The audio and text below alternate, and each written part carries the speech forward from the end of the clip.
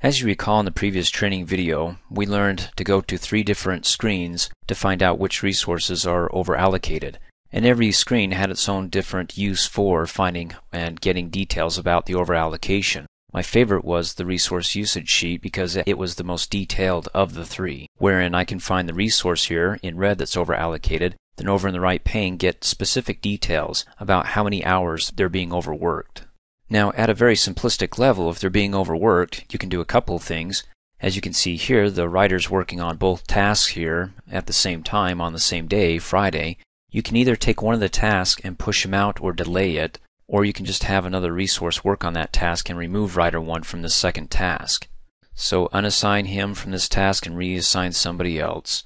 Not too difficult. Well, Microsoft Project has a process of delaying or splitting the task automatically for you just basically with a single click, to avoid the conflict. So if you click this button, it'll actually look at both these tasks that the writer 1 is working on and say, okay, I'm going to delay this task or I'm going to delay the top task out several days so he's not working on both of them at the same time or depending upon the task and how project figures it out, it'll actually split the task. So you're working on one task and you move along and you find that it conflicts with another. It may take that task, split it for zero days that you're working on it, and then when the top task is finished or completed, it'll continue on with that second task. So either way, it's going to be delayed, and it's going to delay out the project's end date. Which, by the way, what's our project's end date? Come up here, click on the project menu, go down to project information, and right now the finish date is October 6. Okay, keep that in mind. Click cancel. Now before I go ahead and level this or use project's leveling feature, it's best to save a copy of project before you level it, even though you can clear the leveling, but keep in mind that after you level, if you add more resources and you find more conflicts, then you level the uh, project again. Project's only going to clear the most recent level. So again, you may want to save this as project 2, make a copy of it, do your leveling if you like it, then keep that version. Okay, to level it, it's really simple. Come up here, click on Tools, go down to Level Resources, now we're going to use the uh, manual instead of automatic because automatic will level all over allocated resources instantly. It's going to prevent you from choosing to level or not. So I'm going to do it manually, make sure by default that's selected, and just go ahead and click on Level Now. And then it's going to ask you, do you want to level the entire pool of over allocated resources or just the one that you have selected? Well, I don't have the uh, over allocated resource selected, in which case if I did I could click OK and it will figure out about this resource whether to delay one of the tasks that it's working on of the two or go ahead and split it. We're going to do the entire pool and click OK and that's it. And wow, magically they're no longer over allocated. Well, what did it do? Instead of trying to figure out here what it did, if it delayed the uh, task or split it, one of the ways you can figure out what happened is to come up here and change views. Go up into the View menu come down to More Views, and I'm going to scroll up to the Leveling Gantt. Just double click on that.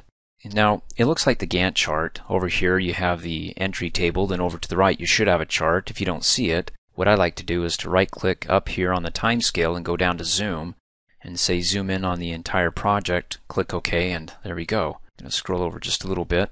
Okay, first of all, before I go into the uh, screen here, I want to know what the uh, project finish date is. Remember, it was October the 6th, so I can either come up here and click on Project and go to Project Information. There it is, October the 21st, or I can look over here in the leveling chart. First off, notice that we have two different colored bars over in our resource leveling chart. Everything that's in green is what it was before it was pre-leveled, and then the blues are what it's like after it was leveled. So coming up to the top, you can see that there's not any change with the examined software. But when we go down to search internal documentation, we have the pre-level. When you hover over it gives you the original date and times. And then you have it what it was like after it was leveled. And it did a couple of things. First of all, it delayed the task up to a certain point, and you can hover over that little gray line right here, and you should get a little pop-up there that it will tell you that it was five days delayed. Or you can come over here and look in the leveling delay, and you've got five E days, or five elapsed days. So it went from this point, the starting point, went down to this point and delayed it by five days. Then it started it, and then after a couple of days here, the 13th through the 17th, at the 17th it did a split.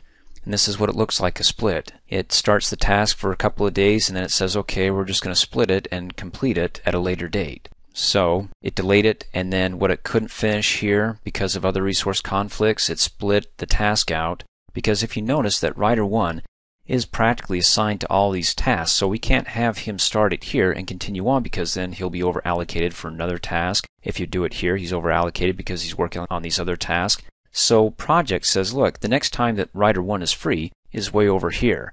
So it split the task and says this is the time when writer 1 is available and he's not going to be in conflict with any other task that he's going to be working on. So there's the first elapsed days, the first split task, and then as you come down here, the next elapsed was this task right here, and you can look over here in the entry table. It went four days, elapsed days. So the green bar again, what it was originally before it was leveled, then the blue bar, and then the uh, gray line says we elapsed four days, and then we started that task after we used the leveling feature in project.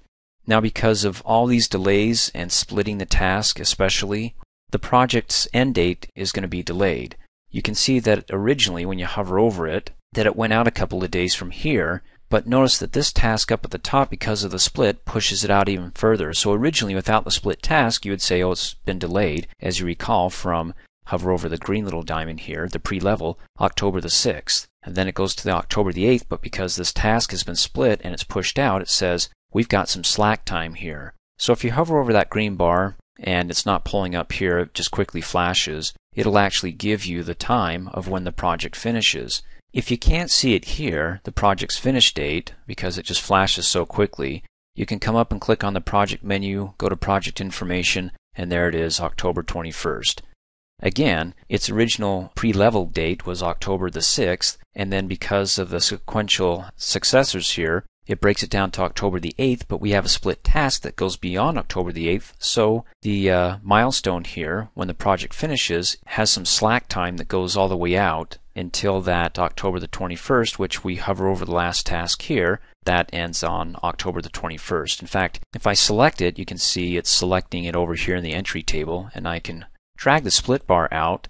Looking at the entry table, see that? It ends October the 21st. Down here it says the manual is going to be completed by October the 8th, but according to the chart, because of the slack time, because this task has been split, the finish date here should be the 21st.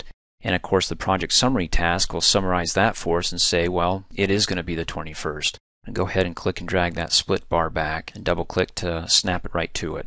Now this is one of the reasons why I don't like using the uh, leveling features because it pushes things out that maybe I wouldn't choose to do. If you don't have the time to go ahead and figure out if you want to split a task or reassign another resource, because again, the leveling, all it does is it's either going to delay tasks or split them. It doesn't give you that flexibility, obviously, that you have to uh, say, well, I don't want writer 1 to be working on this second task, I'll have somebody else. Or I'll increase their overtime hours. So they finish with this task a little bit early and start on the next task and still try to keep within the timeline of the project. So because of that flexibility, I don't use it, but you may find that it works for you. Now having said that, if you don't like the way it's leveled, at least in this instance, but you'll still be using it, you can hit the undo button several times, but if you click save and you no longer can undo it, then the only other thing you can do is to clear the leveling. Now keep in mind two things. If you keep leveling, it only clears the most recent leveling. So if this is the most recent, then you're in luck. If not, then you're out of luck, obviously, and then you have to revert back to your copies if you made copies of your original before you uh, leveled it. The other thing to keep in mind is that there's only certain screens that you can clear the leveling in, and this is what I mean. For example, in this screen, if I want to clear the leveling, I'd come up here, click on Tools, go down to Level Resources, and then there's the Clear Leveling button. If I click Cancel and I right click on the Collapse View bar, and let's say I'm in the uh, resource sheet, and I come up here and click on Tools to Level Resources. Where's the clear leveling? I can't click on it here, so click Cancel. And a couple of screens that you can go to to get this option to clear your leveling is either the leveling or Gantt charts. So I can right click, go to the Gantt chart, and I can clear the leveling here, or right click, go down to More Views, and go to the leveling Gantt, double click on that, where we were just at. Come up, click on Tools, go down to level resources, click clear, say you want to clear the entire project and click OK. And as you notice here in this view, you can see that we're back to square one because we have the greens, the pre-level, lined up with the same colors of the blue bars, which is after leveling. In other words, there's no leveling that's been done.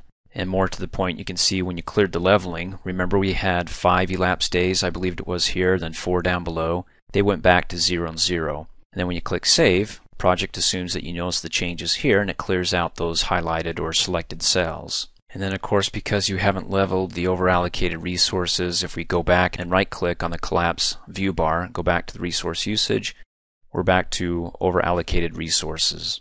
And then again, it's up to us if you want to go ahead and unassign Writer 1 to one of these tasks and reassign somebody else, delay the task ourselves, or push it out so it's not starting at the same time. Or as I mentioned in the previous training video, you can contour your resources here by changing the individual work hours.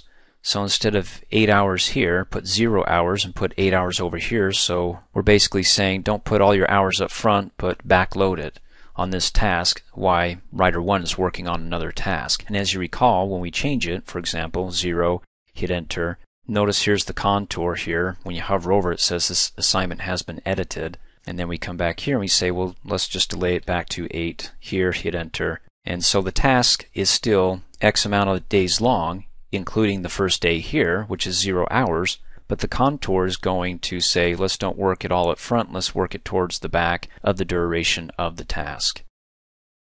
Thanks for watching. Hey, as a quick reminder, if you like my video, please give it a thumbs up. You can also click on me and subscribe to my channel, get notified of the latest videos, and for only $2 a month, you can have access to all my Microsoft Office training videos.